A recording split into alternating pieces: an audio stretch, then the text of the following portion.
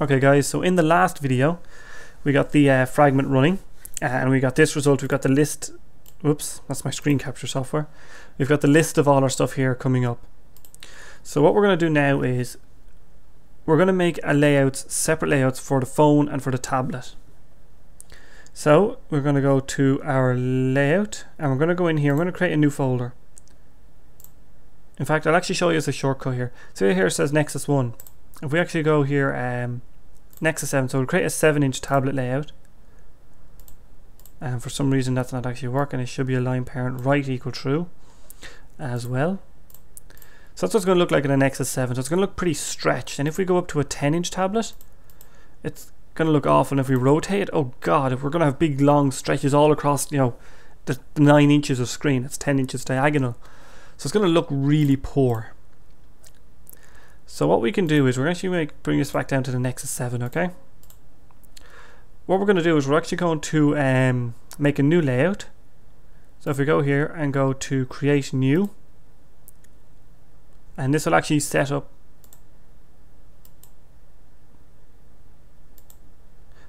I said this will actually set okay so it's not working we're going to create a new folder here we'll do it the old we'll do it the old way so new folder and it's going to be called layout.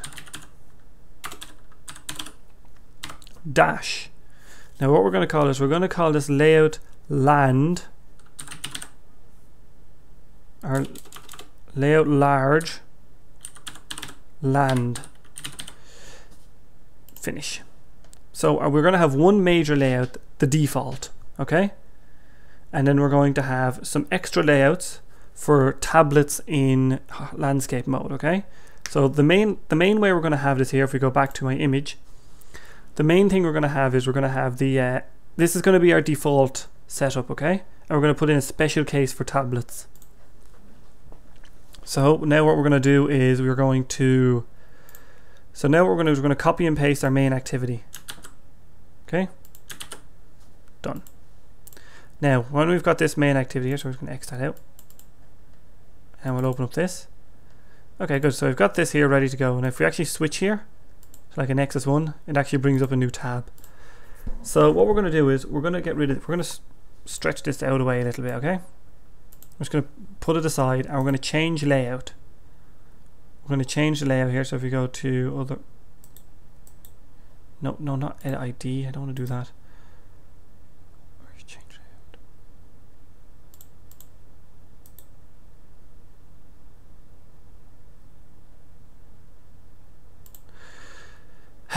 We want to make it into a, uh, this here into a. God damn it! Why won't you work? Okay, well actually just. I'm going to change this to linear layout.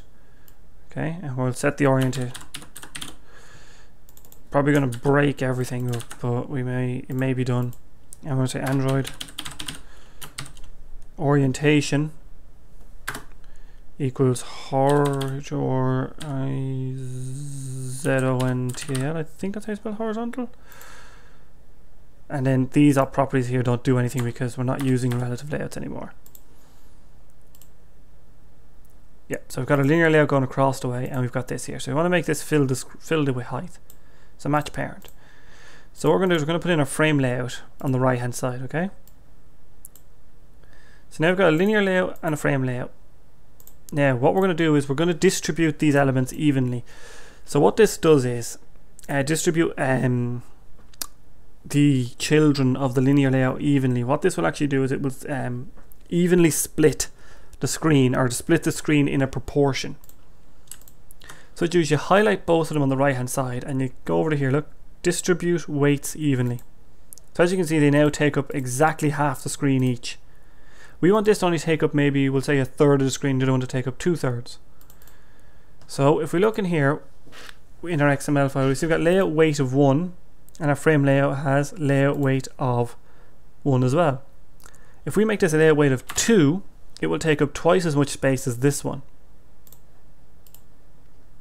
So we've got our list and then we've got our fragment on the right. So as you can see, we have our list our list fragment's going to be here, and then we've got a frame layout here. We're going to actually edit this.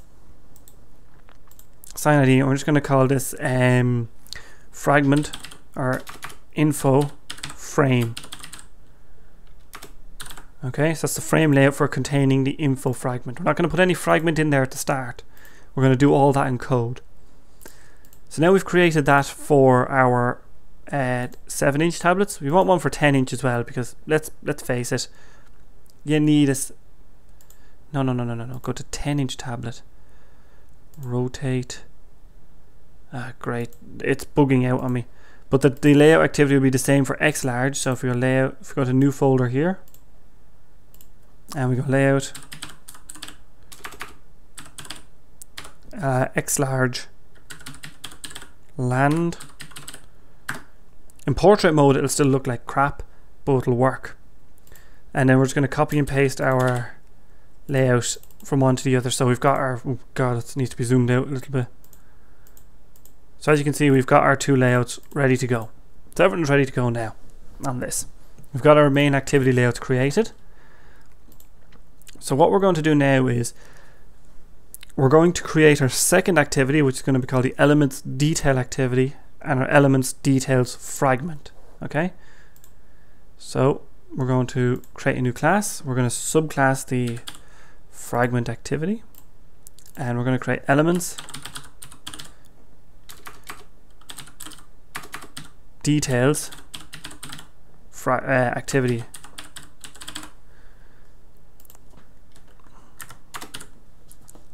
Okay. Uh, finish. So we've got our fragment activity.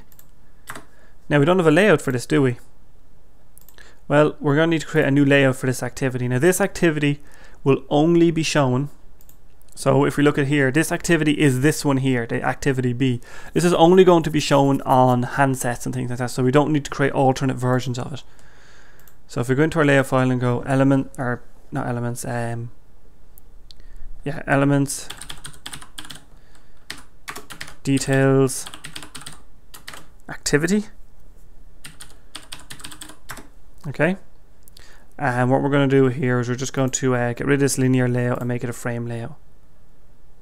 So we'll go into the code here. Frame layout. Copy, paste, and get rid of this orientation value. It's not needed anymore. So we've just made it into a frame layout because we don't need anything like that. Which is nice. So now we've got our elements detail activity created. Um, so that's ready to go. We've got our uh, elements detail activity. So we're just going to very quickly get the onCreate view for this and then we're going to stop this video. So we're going to run down to source, override implement methods on create. Boom. And we're going to say, uh, what's the callback for that again? Set content view. Wow, I am bad sometimes. and we're going to say R dot, um, what's it called? Elements, details, activity, layout. Okay, so that's that ready to go.